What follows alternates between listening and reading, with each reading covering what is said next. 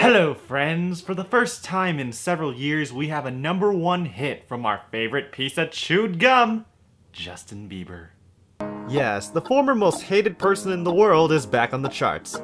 I've waited my whole life to review a Bieber song, and now is my chance to unleash on this punk. Are you ready? Cause I'm ready. What do I think of this song? I actually kinda like it.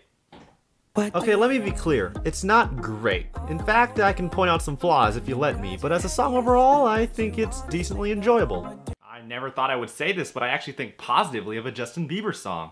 And before you start sending your angry tweets at me, let me warn you. I'm not gonna act like this song is a masterpiece. It's not.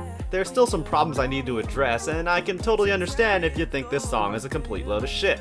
I have mixed opinions on the song, but I'm more on the side of defending it rather than ripping it apart. Let's begin with the music. Now that he's no longer doing the baby baby teen pop, he's trying to go for more of an electronic route, which isn't a bad choice. I actually think the production on this song is pretty solid. The electronica is light and used for subtlety, which is much better than being loud and exploitative. It also establishes a setting of uneasiness and anxiety, which shows that the situation here is affecting him just as much as the girl in his song. The music gives off a nice vibe, establishing a mood that defines his position and also complements his tone of voice. Now let's get to the lyrics. There's not much to delve into, and I could totally see why some might hate the lyrics in this song. They're too simplistic. The lyrics are as cut and dry as they seem. The girl is indecisive of their relationship and can't decide whether she wants him or not. Plain and simple. Now that I've said that, most of you are probably thinking, Wait a minute, I've heard this song before! No, no, no! Turn it off! Turn it off! Never thought I'd have to hear that song again. Okay, yes, to some of you, this might sound like a remake of the lyrical disaster known as Eenie Meenie. So what's different about his latest song? Well, let's see, at the very least he's not saying,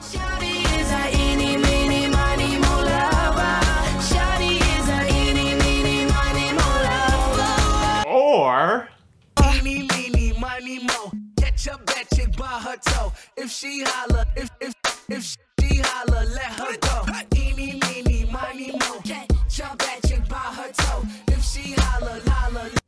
but that is a huge step. Also, I can tell this is Bieber's way of letting us know that little brat teen pop Bieber is just about done. Now it's all about big brat adult pop Bieber. Now, let's enjoy the rest of the song.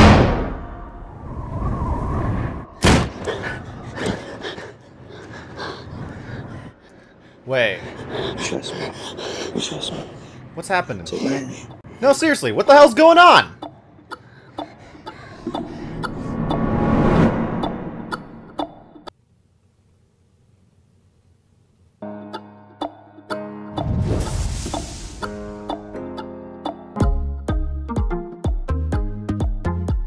Hold on. Is that John Leguizamo? What the hell are you doing here, man? What, was Super Mario Bros, Moulin Rouge, and Romeo and Juliet not over the top enough for you? What the hell's going on here? What do you mean? Hold up, dude. Let me get this straight. So you just elaborately kidnap this girl, make her fear for her life, and partake in a several story jump which she doesn't know whether she's gonna survive or not, just so you can convince her to stay with you?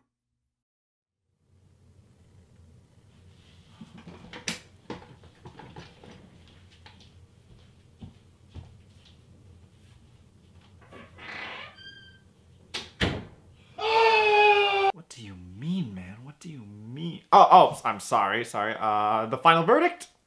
I'm giving this song a 6 out of 10. What do you The music is decently appealing, the vibe is existent, and the lyrics, while simplistic, don't say anything outwardly ridiculous. It's not the best song that I would listen to this year, but I certainly don't mind it when it's on. Congratulations, Bieber.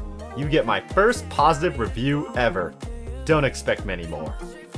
Well, even though it's the fall, it's never too late to review a song for the summer. The next song was pretty hot last summer.